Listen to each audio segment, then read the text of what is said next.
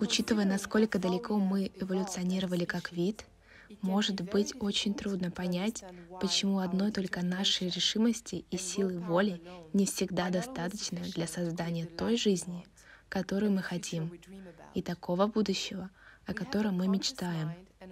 У нас есть сознательный разум и подсознание, которые оперируют не одним и тем же типом логики. Нашем сознании мы создаем мысли и идеи, тогда как наше подсознание действует независимо, следуя программам и унаследованным отпечаткам.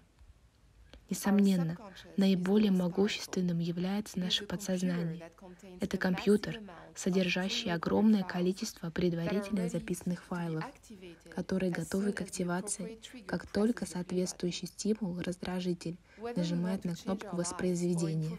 Независимо от того, хотим ли мы изменить свою жизнь или улучшить свое здоровье, нам необходимо поднимать взаимосвязь между нашим сознанием нашим подсознанием, нашим телом и окружающей средой. В природе каждое живое существо запрограммировано на выживание.